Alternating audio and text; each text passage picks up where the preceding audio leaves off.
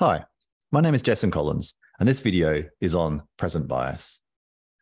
One concept developed to account for anomalies in the exponential discounting model is present bias.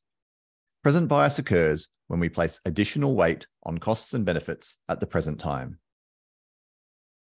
One simple model of present bias is the quasi-hyperbolic discounting model, otherwise known as the beta-delta model. Under the quasi-hyperbolic discounting model, there are two discount factors applied to future costs and benefits. The first is beta, the short term discount factor. All future payoffs are discounted by a single application of beta, a number between 0 and 1. The discount beta is applied simply because the payoff is not immediate. The higher the, the, higher the short term discount factor, the less the agent discounts payoffs that are not received now. The second is the discount factor delta that is also present in the exponential discounting model. Each additional period of delay results in a discount of a future cost or benefit by a factor of delta. The discount factor delta is also a number between 0 and 1.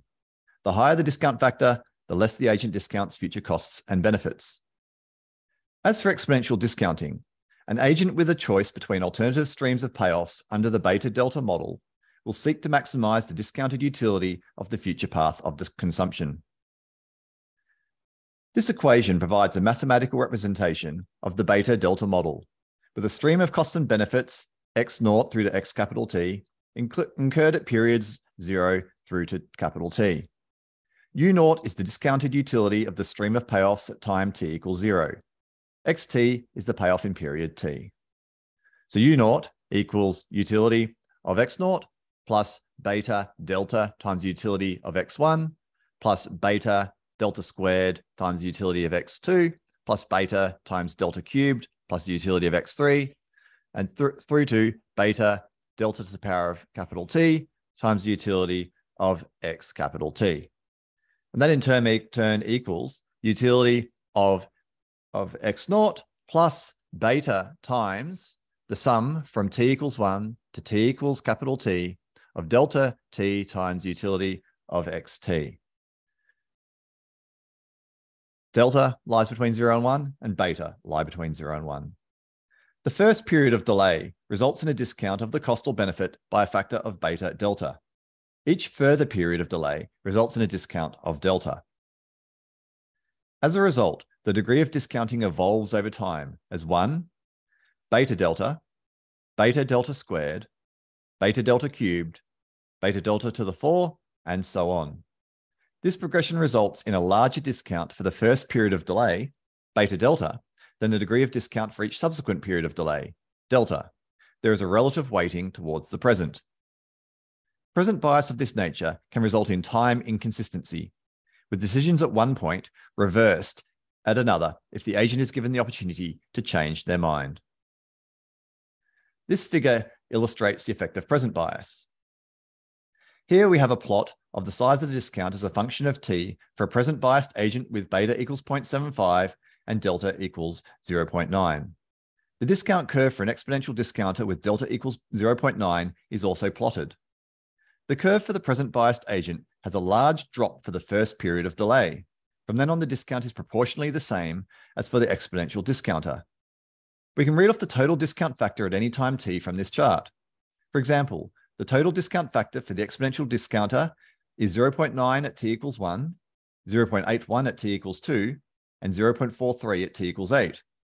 The total discount factor for the present biased agent is 0.675 at t equals 1, 0.61 at t equals 2, and 0.32 at t equals 8. This figure shows the discount curve for present biased and exponential discounting agents with different parameters. The present biased agent and exponential discounter have the same discount factor delta equals 0.75. The present biased agent also has the short-term discount factor beta equals 0.75. Again, the present biased agent discounts the first period of delay more than the exponential discounter. This figure shows a scenario where the present biased agent has a higher discount factor delta equals 0.9 than the exponential discounter with delta equals 0.75. The present biased agent also has the short-term discount factor, beta equals 0.75. The present biased agent discounts the first period of delay more than the exponential discounter. However, due to their higher delta, the present biased agent discounts additional periods of delay less than the exponential discounter and ultimately has a lower total discount for periods further in the future. The exponential discounting model is underpinned by many assumptions. These include time consistency, whereby once the agent starts moving along the consumption path, they are consistent with their initial plan. Consumption independence, whereby utility in period t plus k is independent of consumption in any other period, and outcomes utility is unaffected by outcomes in prior or future periods. Stationary preferences, whereby the utility in time t equals utility time t plus k. The utility function is stationary across periods. And utility independence, whereby all that matters is maximizing the sum of discounted utilities. Decision makers are assumed to have no preference for the distribution of utilities. Under the beta delta model, we are loosening the assumption of time consistency. An agent may change their initial plan over time. However, we maintain the assumptions of consumption independence, stationary preferences, and utility independence.